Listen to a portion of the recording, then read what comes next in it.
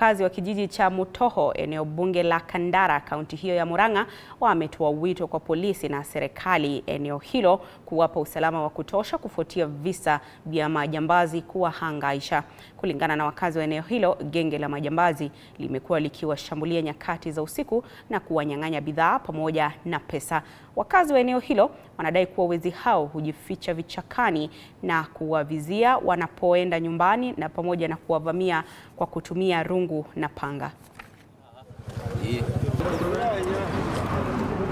Napanda hapo juu tukapatana na wanaume wawili wakiwa gang bado na huyo jamaa huyo. Sasa tukagoteana na wao wote wawili hao wawili juu nawajua ni Boni na Michael. Sasa sisi tukaacha hapo, lakini huyo jamaa mwenye alitufuata bado alikuwa na sisi. Tukifika hapo juu ndio tulipata Bogo amelala.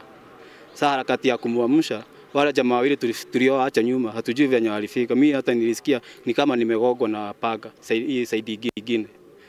Mimi mimi nikaendelea kuamsha Bogo. Mimi wakati ninamwamsha nilisikia ni kitefutefu, nikamwachia, nikaona damu imeshamwagika kwa nguo yake. Sasa mimi mimi nikatoroka juu najua nilimesikia damu ni kama mimi nimemwaga nikatoroka. Sasa kufika kwa mto ndio nilijua nimeshatakatwa tayari. Nika nikauliza sasa, ni mnaniuliza nini? Wakaniambia sisi tunataka pe pesa. Nikawaambia mi sina pe, hata pesa ile niko nazo nido nidogo. Sasa e, sasa akaniambia sisi hatutaki kujua juu tunataka pe pesa. Aya, kutoka hiyo yani, kunoka hiyo dakika hiyo sikuwa, sikuwa najua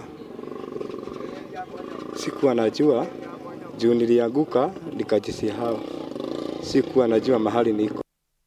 Na zaidi ya raia milioni 9.5 wa Rwanda